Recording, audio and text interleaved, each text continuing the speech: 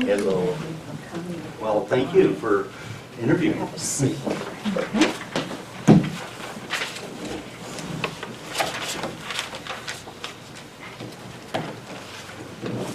Okay. Uh, We have 45 minutes, so, um, let's see, so until 10:35, hopefully we'll be finished by then. We have 12 questions. Um, Connie or I may have a follow-up question from your written comments, or your writ- your written answers, the supplemental questions, or the uh, answers that you provide today, and then we each have one question that we're asking each of the candidates that we didn't disclose beforehand. So, uh, anyway, Connie will ask. the- Before you get started, Yes. let me apologize. Randall Johnson. For, um, when I submitted the application, I was switching my computer from Windows 8.1 to 10. And when that happened, it was when I was putting everything together. So you notice I was, my illegible handwriting came into play because I just couldn't get it right over the weekend. So, so I just want to state that I'm, I'm normally a little bit better off and a little more computer literate than that. However, uh, that, things like that happen. So, uh, okay, sorry. Um, Well, and the questions we're going to ask too, we have to ask of everyone, so even if you Yes. include some of these answers in your five-minute, um, we'll be repeating the question to you as we go through the list. Right. So, um, number one would be, what would be your message if you were out on the campaign trail? And if you could let us know in five minutes or less. In five minutes or less. Okay, I w- we'll try in five minutes or less. First of all, some people have come back to me and said, are you crazy to even look at that? And then I thought about it and I thought, let me see, I just came from a meeting today dealing with SARC and the YMCA, and one would probably argue that maybe that was also a crazy thing. So one has to care about the community, first of all, and that's probably the most important thing. I mean, why else would I be involved in things like that? At least that's my feeling anyway. I've been and have cared about economic development here on the North Peninsula ever since I was here, which was 30 years ago when we first began. And uh, I've been involved, obviously, in the Economic Development Council and many other nonprofit kinds of entities, including the Chamber of Commerce, on and on. And all of it relates to another story. You know, kids, when they graduate from high school here, they say, gosh, I'm going to go away to college, I'll never come back. Looking at someone I know who has come back, but that's beside the point. Um, and that's great. And then about age 30 or 35, they say, oh, I'd like to come back. What kinds of jobs do we have here? And guess what? You know, we're lacking jobs of certain types that, that we have. And the job is not just the job, it's also the job for the significant other that comes with it. So we are missing that kind of, of, uh, of uh, activity relative to jobs, and that's always been very important. Um, So I, and so again, I cared about the economic health and the vitality of our area. Um, The port commissioner job is a valuable part of this equation because it's able to leverage port assets. I, and you'll see um, later, and I've certainly put my letter, uh, a deep water harbor with waterfront. There just aren't many places like that in the whole state, and for that matter, the whole country, any place. And that just has to rise right to the tip-top of one of the things we have. And there are a lot of other port assets. Of equal importance, I, I think, uh, obviously, having an executive director here and, and the whole staff all working together. And I will say again, you know, and I, you have seen the Economic Development Council, so many times this area seems to go in their own little disparate ways, where this little group has this meeting and they only meet there and we don't meet with anyone else, this other group meets over here. And having us all work together has been my mantra, as you have heard me say many, many years, because I think it's the most important thing we have. You know, when we try to make something happen, if we're not all rowing, and my favorite saying is, we all need to be in that canoe rowing in the same direction, or else nothing good happens. And so, uh, I shouldn't say nothing good, but it's very difficult for things to happen, and, and so I believe that uh, all along the way. Uh, It's also vitally important when we come to other things, when we, the- as a public entity, you have a voice that's sometimes missed you know, uh, when I go and show up to testify, like in front of the Department of Natural Resources. They will pay attention to you as, as the port, where they won't pay attention sometimes to me. Oh, well, he's just a timber guy over here. And, and so, and yet, when you look at like sustained harvest levels, it's so important to have those on a continuing basis and understood by everyone, particularly if we're trying to track a, a business like cross-laminated timber or any of those other kinds of things. So, you know, and, and that's just vitally important. Um, necessity of an airline, been one of my hot buttons here for quite a while. Certainly one of the, the key items of the, of the port. It- It's just so important and, and there are obvious things, for those of us that travel to the East Coast for business, all you have to do is get up at 4 AM and get stuck in Tacoma and spend an hour and a half and then think you're going to miss your flight to recognize what a pain in the rear it is to even be here to, you know, and we've kept our business here. But I'll be honest, even my board who flies in from outside, most of them, they come here and say, why in the hell are we meeting in Port Angeles? We should be meeting in Seattle. I can just fly in, have the meetings, hop on a plane and get out. We need a plane here in the worst way. Now, the added benefit, of course, is if we have that is from a tourism standpoint, you have a whole lot of other things. And we certainly have had hotels talking to us, talking to all of you, not to me, about the potential of moving here if we get an airline. Gee, there's another benefit, lo and behold. But sometimes people don't connect all those dots, you know. Here's one thing, but it really reflects on a whole bunch of other activities that will take place. So, anyway, another thing very important, obviously, I mentioned the harvest levels. On, on a kind of negative standpoint, and I'll just say, uh, looking at the documents, and you are all so much more knowledgeable than I am about things like the harbor cleanup. And you noted, you should notice that I mentioned that. Well, why? I- I've obviously, not unlike the port, was sued by Waste Action Management Project, so we all understand what happens there, so that's one thing. But more importantly, I was involved in the Superfund site on the East Coast here for the last four years, and I just know the onerous nature, and it has nothing to do with you having liability. It has a lot to do with who is the person it we might be able to, to ensconce into the whole issue that we have. And again, that's just something that takes a lot of time and work and effort by a whole bunch of folks and very knowledgeable staff and everyone else. So, you know, and I, and again, I, I think that I can add some benefits there just because I've been through a lot of things related to that. Um, We're at five. Am I running over? A Little bit. Uh, Okay, and just quickly, I'll mention fiscal integrity. Obviously, I've been through the recession as a company, and we're still in business, lo and behold. Been with the YMCA, and believe me, we had some tough times there, but you just have to be able to watch your checkbook and make sure that everything's covered and that you have reserves in the appropriate place, which it appears the, the board does, et cetera, et cetera. So, um, anyway, thank you for the first five minutes. Sorry I went over. That's okay. Uh, Number two, what port lines of business do you best understand and which ones are new to you? Um, Let's start with the new ones. Uh, Marinas, I don't know. I would tell you that. Um, And I'm not in the boating thing. I don't really understand how, uh, I assume that comparable rates are looked at in other places to arrive at that and and a whole bunch of other things. Don't know that. Don't understand lease terms. I don't misunderstand. I I lease properties myself for for uh, one of our businesses all the time big offices, but, so there are a lot of ins and outs I don't know, don't quite understand all the costs involved and everything else, so that's one of the things. The other thing is, I, I, obviously, Wharfage and relative to the timber business, I, I have a very good understand- understanding because we've certainly been in that business and have utilized port services. Relative to uh, topside repair and things, don't know if I really quite understand that very well at all. Um, um, not sure how that comes together.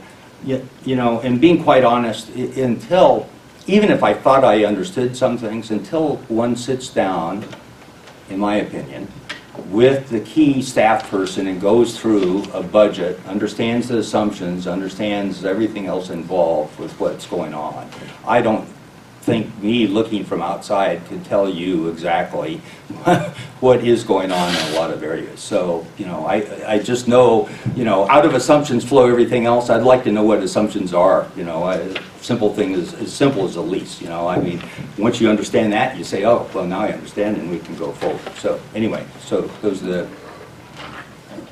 Thank you. Tell us about the opportunities and challenges that you see for two of the port's lines of business. Um, Opportunities, I I mentioned already, I I believe that the, uh, the whole uh, waterfront has the opportunity to be one of the key uh, long-term money-making entities or parts to this, the port, and- and to the benefit of all of us here in Clallam County. I, I just uh, continue to see that as being, like I said, there just aren't, they're not making any more port space anyplace, and I can't see it going any other way. Um, um, Excuse me, I'm gonna put on my glasses. Um, And I also mentioned the other opportunity, which I think is vital to our area, which is the whole airport, airline coming in. That, that's, a, um, goes without saying, and you've already heard me ex- expound upon that. What, what I think is uh, uh, uh, going to be a difficulty, being quite honest, are are timber exports. Uh, And that- I say that just because I've been looking at some of our forecasts. And why is that? Uh, Not much anyone here in the port can do about it. If you look at the Canadian dollar, it's what, 73 cents? Big issue, and so you're competing with already subsidized stumpage up there, part A, part B. You know, US dollar, Canadian dollar, selling to the same market, same primary, uh, you know, product that we're making, that's going to be an issue, uh, or I think it's going to continue to be an issue. Um, And then the challenge, I always mentioned, the, the issue, I think, in the, the whole port cleanup issue. So, um, Okay. uh, Number four, do you see a current weakness in the way the port operates? And if so, what would you do to change it? I, I thought about that long and hard, and um, I- will tell you, having looked at many businesses to acquire and whatever, to, as you look on the outside, you do not know. I'm sorry, but I can't tell you that. Once I sit with people and go through financials and understand all the ins and outs of everything going on, I, I normally have a very good feeling, but I, about what seems to be right or wrong, but I, I will be quite honest, I, sitting here, looking from outside in, I, I could tell you, oh gee, this is right and this isn't, but I'll be honest, I couldn't, I don't believe I'd really have a fact base to, to, to judge that on. So, Okay. okay? Thank you. What do you consider to be the most challenging aspect when dealing with the public? Um, There, there are two issues when you listen, listen to the public, and, and- and by the way, that happens when you're talking to almost anyone. Sometimes we have emotions, and sometimes we're fact-based. And certainly when you have the public, uh, many times it's a very emotional thing, and I understand emotions, we all have them, uh, you know, and that's what they base it on, and that's certainly a- a- a one of many things to base, base things on. Uh, I try to operate from facts, you know, and out of that, we can have disagreements, but at least you have a, a, a playing field we all understand, so. um, Okay, what do you see as, what do you see as customer service policies and goals for our stakeholders and tenants? you know, I, uh, just having spent, just as background for, for both of you, uh, the last three days visiting with all my customers in the sand and gravel business, and you think that's a pretty simple business, right? So why do you go to visit your customers, heaven forbid, and/or tenants or whatever? Is because, are we providing you a satisfactory product? Is it on a timely basis? What are your plans in the future? Are you looking to expand or not expand? And all those other good things. And if you don't have that contact with them on a periodic basis, you don't know. I mean, and uh, or you think you know, but I'll tell you, nothing like sitting down with someone to, to have that discussion, and, and they let you know right away. And sometimes it's good news, like we need to expand, or sometimes it's bad news, like you- you're not doing this right, and by the way. By the time it gets to, to uh, a critical stage, that's not when you need to handle it. You need to be on top of what your customers are doing all the time, so. And the port has quite a few customers, obviously. Thank you. What policy and procedure topics would you be most interested in exploring if you were appointed? Um, First, I don't know what, what you meant by policy and procedure. Obviously, I, there are some questions I had when I, I looked at, at, I guess their policies, but the whole issue, obviously, of, uh, of, in your plan, you know, talking about acquisition of property, that may make sense, I don't know, need to understand. Uh, We certainly have the whole issue of sale and/or lease of property on the waterfront. That's certainly an issue that cer- I've heard people bring up. Uh, And so, and lease basis, again, I just don't know. All those things, one would have to be very involved in. Um, Obviously, in the case of uh, timber resources, I would certainly and continue to be highly interested because it matters to our, our uh, uh, economy here. The port reserves, I looked at them, first of all, they looked, the fact that you have reserves is a wonderful thing, I should say, compared to a lot of entities in this world. Um, But I don't know how they arrived at, or does that really make sense or not? So there's, I- all I can tell you is I have a lot of questions. Okay. What is your experience in finance and understanding of financial documents? Ah, gee. So I, I live in the world of financial documents. Uh, Let's start first on the lending side. Obviously, um, until this coming Monday, when I will no longer be president CEO, I, um, we've negotiated loan documents with MetLife for, uh, with Northwest Farm Credit, with uh, New England Farm Credit, with several leasing entities and Bank of America, including letters of credit, Exim financing potential, et cetera, et cetera. So, so that's on the financial side. Relative to reading financial documents, that was my background, doing financial analysis of projects and things when I first began and, and got involved in many, many other things. And, and so, uh, you know, whether we're doing a discounted cash flow or a net present value or whatever you want to talk about, no, no big deal there. Relative to understanding balance sheets and P and L, if you give me a wild of course, you still always have to take a close look at the assumptions involved in anything, but uh, we we run budgets for, what, nine different companies right now, so I'm fairly familiar with what goes into that, so. Uh, What I would tell you is, out of assumptions flow everything else, and if you don't spend time on the assumptions going into the budget, you don't, you don't understand really, so, uh, okay? Thank you. Thank you. Do you have enough time available for court meetings and other community obligations? That's probably, obviously, if you looked at my letter and background, that was a big issue. We're in a transition, as I stated before, with, uh, or I'm in transition with Tyler Crow's about to become, as I said on Monday, the present CEO. Uh, Between now and June, I have one trip to the East Coast to visit Maine and Vermont and New Hampshire and our operations there and all the areas that we operate in. And I'll be gone about a week and a half. That's one time there, I think I, I looked at potential conflicts and I didn't know exactly what the dates were. I'll be gone four Mondays between now and the end of June, just so everyone knows. After that, not so much. I'm resigning my membership in the Board of Trustees for WFPA, and Tyler's about to take over. I'm resigning a couple other things because he's about to take over. This is all wonderful.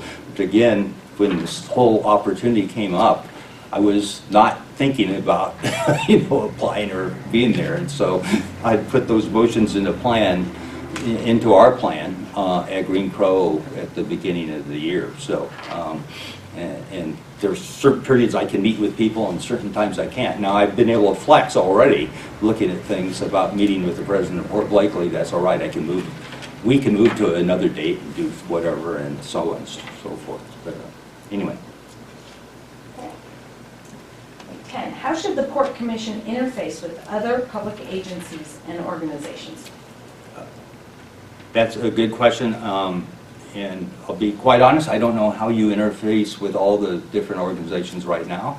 I, I get to see some of the organizations only because of the Economic Development Council, because we all show up. I, I believe the discussion items, and I can only relate from that uh, with the different entities, uh, conversation, understanding, you know, being clear about what each one's doing, you know, that takes time, takes discussion, takes uh, ability to, to uh, convey whatever messages we're working on. So I, you know, I don't know of any other way to do that, really, so. Okay, thank you. Thinking back to past life experiences when you made an important decision, tell us about a decision you made that you later regretted, and what did you learn from that experience? Um, I- I'll give you two, but I, I also have to relate to the fact that I, I met with, uh, when we were interviewing for the person to take over and outside candidates and so on. And one of the people we were meeting with was a fairly high executive in a timber company, as you can imagine. But I asked him basically the same question. Had he ever made a mistake? What was the biggest mistake he'd ever made? And he sat there for about 30 seconds and said, no, I've never made a mistake. And I thought about it later, and I asked, and then I decided, well, you know, either the person above him or the person below him made a mistake. He never made a mistake, so I can tell you I've made many. And so, two real quick things. One, which you're going to do when you get here, when I hired someone for a key management position, I thought I knew him, but I didn't check their references, you know. I, as I told Holly, I should have, and it had nothing to do with their intelligence level or anything else. It had to do with fit fit in the organization. And it was just a, a, a terrible mistake. Another probably recent mistake, which is very ap- appropriate for this area, is we bought a bankrupt, we bought a bankrupt uh, mill here, put time into it. Uh, We based it on two things. Based it on, first of all, a sustainable timber supply here coming from the State Department of Natural Resources. Pretty important. We're a very specialized product, a big, big kind of deal, not, it was, you know, a 20, 25 million dollar kind of sales then, so it wasn't tremendously large, but not small, special niche, right? Um, So it's based on that. It's also based on the fact that if we remember where the Canadian dollar has been recently, and it was, you know, fairly close to par, so there we go. So two things happen. If the supply doesn't continue, that's a real issue and it is a real issue, because then you have to supply yourself out of Oregon or wherever. And B, even though you've made all the improvements that you should think, you computerized everything, you've done all the other things, you've increased your productivity by two and a half with the same number of people, you've lowered your unit cost by 50%, which is only 30% of the total. And even with, in a very good workforce, you know, who, who pass drug tests, do all those other things. Even with all those good things, overcoming a Canadian dollar at 70 cents or 75 cents, good luck. You could be the most efficient operator in the world.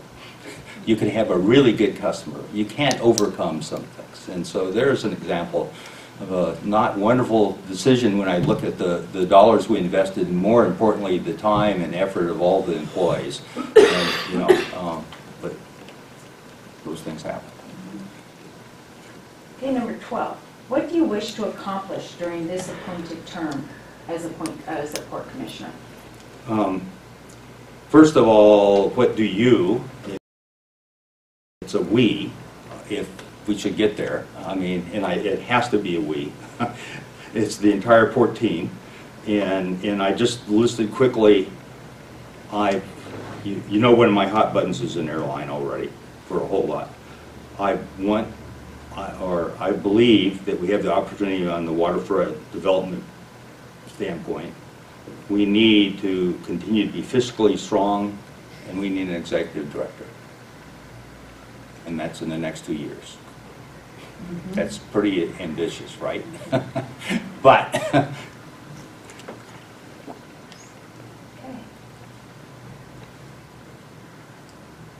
Um, do you wanna- Follow, do you have I follow-up don't have any questions? follow-up questions. Okay. Do you? Um, let's see. I think, I have, I have a question that I asked the last candidate that I'll apply here, but I don't, Okay. I think it doesn't qualify as follow-up, so. Okay. So we have a- just a couple of questions that we're asking each of the candidates that are not on the list. The questions are not on the list, candidates are. Historically, the log business has been the port's bread and butter for its operating revenue. What do you see as the future for this line of business and for timber products? Um, So we, we need to dissect that. The, the, certainly in the case of log exports, if I look at it, you know, let's look at the macro part of the world, so, and and without going too much into detail. If you look at what's happening, there are a lot of things changing as they always do. I mean, I just mentioned currencies and that always affects it. But when you get to the raw material, there are a couple things happen. The Russians used to have a whole bunch that came into China. That's basically stopped up, and of course, they don't reforest, don't do anything, and they have incrementally very high cost things in the middle of Siberia. The Chinese will continue to have a wood demand, that will continue to grow, and they're not going to be able to sustain it with their forests. So we need to know, wh- however that's applied, whether it be raw logs or whether it be in, in products, you know, but in both cases, that, that will happen.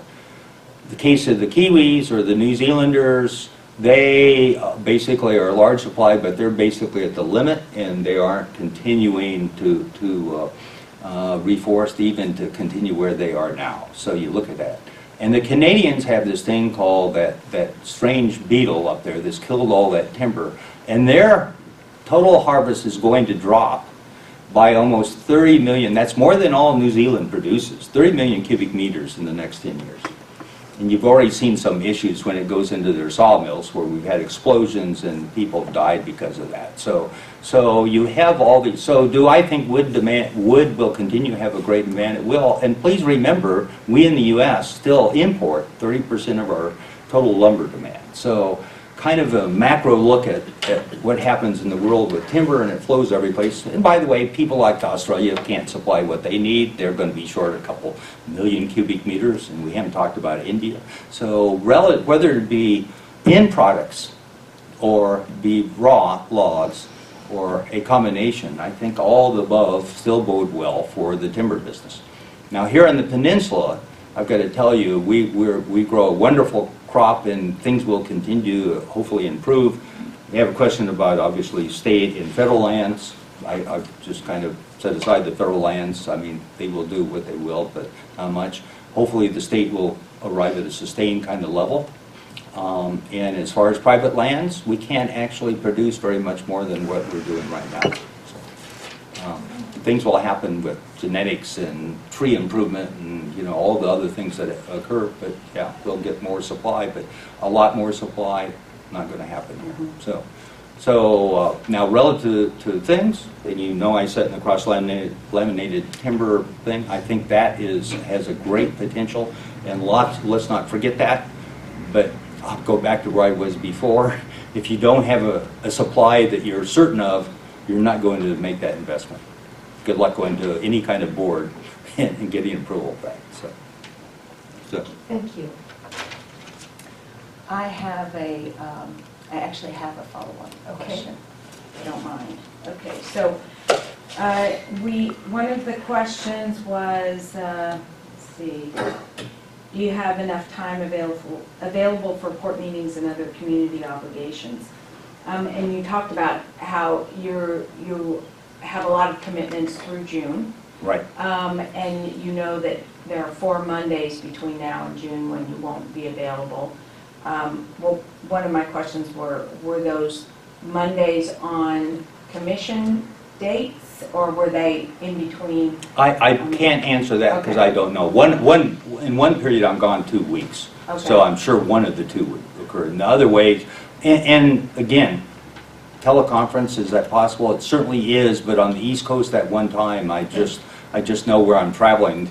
You don't even have cell coverage, part of the places where I am. So, you know, I- it's just, just, you know. Oh, okay, Um, But, but, you know, I, I will s- say it again, if, if you know my background, if I get real involved with things or, or have a whole lot of questions, I send them to people so you know what my thoughts are, good, bad, or indifferent, but you'll at least know where I'm coming from that. And I'll spend time with the people involved in whatever the issue may be, so I understand it, number one. Number two, if I have a need to weigh in on something, I certainly will do that, so. um, We've had flexibility at the port here where we moved meetings around to accommodate a commissioner schedule, so that would be a possibility. Um, And so I guess what I really want to know is, how much time would you have available between now and June to spend on court activities? And then how much time would you have after that?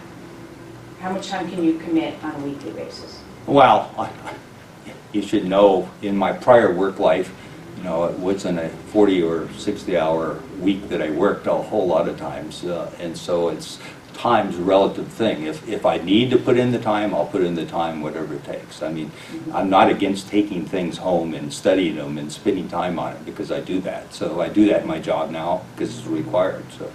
um, So I, I don't know if I answered that very well, Colleen, but I, you know, I, I will put in whatever time it takes, there's no doubt. I just wanted everyone to be aware, and I tried to highlight that, which is an issue, and I understand that. I just, I just am not flexible on a few things, I just Yeah. can't get around that. Well, we so. both have full-time jobs as well, so. No, I know that, I mean, you know, so it's, uh, Mm-hmm. um, Okay, so here's my follow-up question. okay. Please share your experience in evaluating risk in a contract. What's your philosophy in val- evaluating risk versus a new opportunity and our mission to grow our economy? Um, First of all, I, uh, you you know, this would be my prejudice, just so you understand. Uh, If I only listened to my attorneys, I would never do a deal. But, but that, that, so, so you need to, because they're paid to point out all the risk in the world that we ever might have. And again, it doesn't make any sense. But most of the time, you know, uh, and I'll answer it in a couple ways. There, there's, when you're looking at, at the risk, there's, there's rate return risk. Will I get X, Y, or Z? A- And we do sensitivity analysis, I think like, like I'm sure you do here at the port, where you look at different rates and different, you know, assumptions and what those result in. So all those things are absolutely important, and you, normally we, you know, a low, medium, high, what do I expect? Here's the range, okay, that, that's part of my rate of return kind of question. The B part are all those other ancillary factors, of course, and again, the legal staff is very good at it, and as are others, you know. Is there environmental risk involved? Is there some kind of risk relative to either obsolescence or maybe the company won't be around after a period of time or whatever? You know, and, and part of it, that risk also involves, what am I putting into the deal?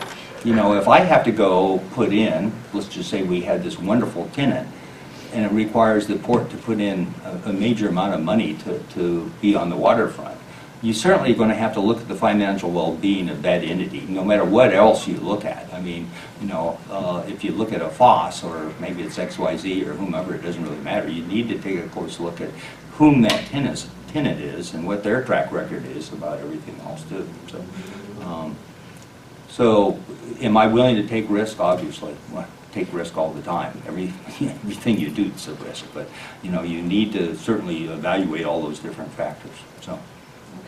Okay, thank you very much. I think that's it, unless you have a follow-up. I don't.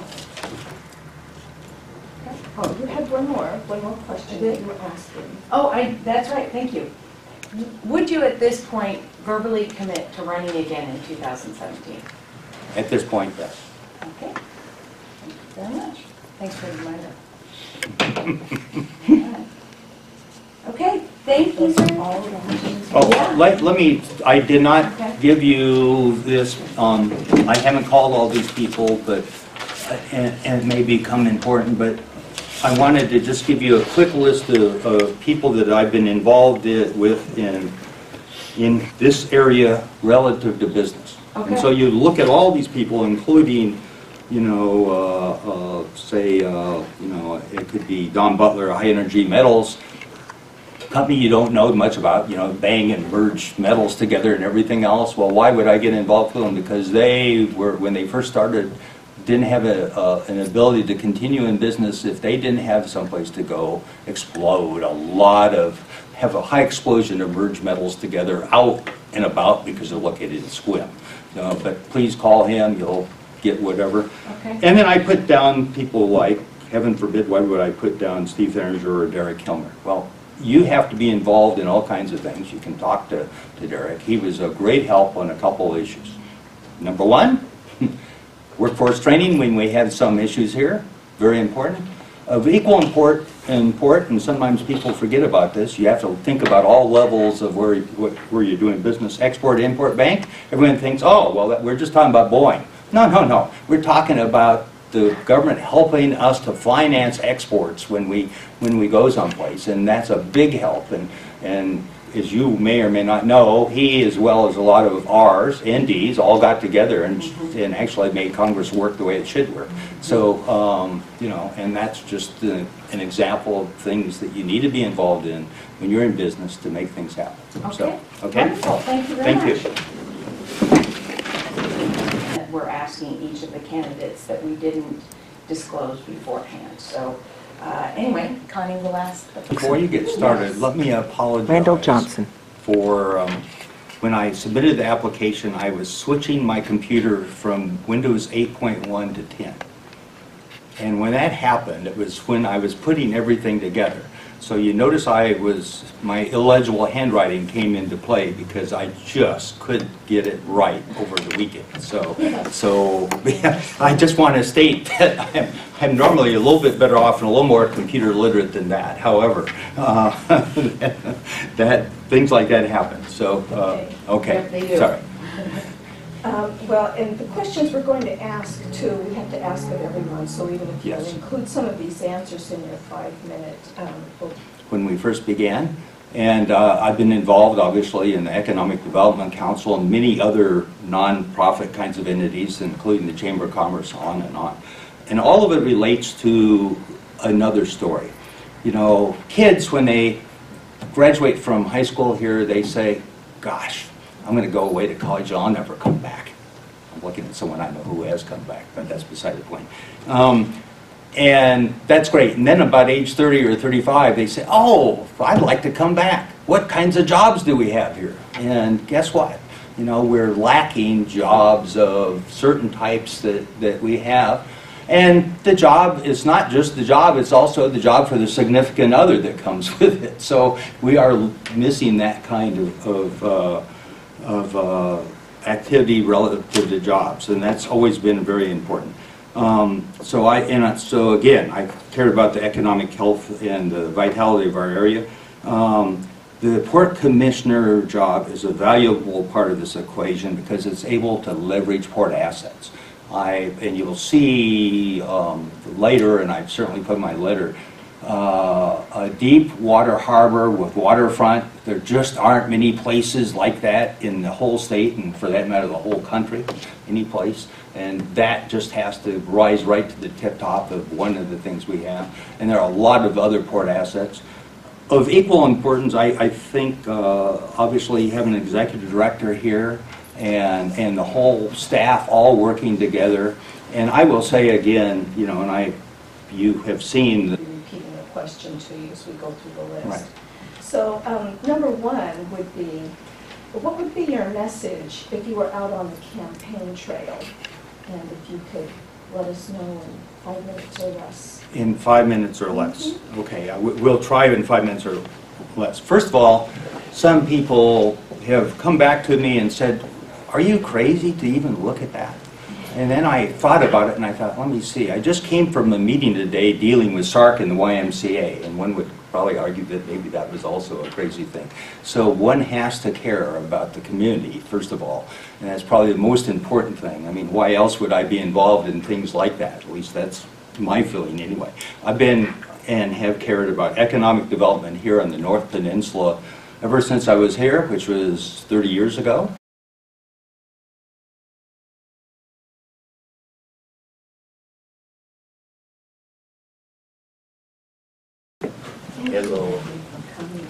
Thank you for interviewing. Seat.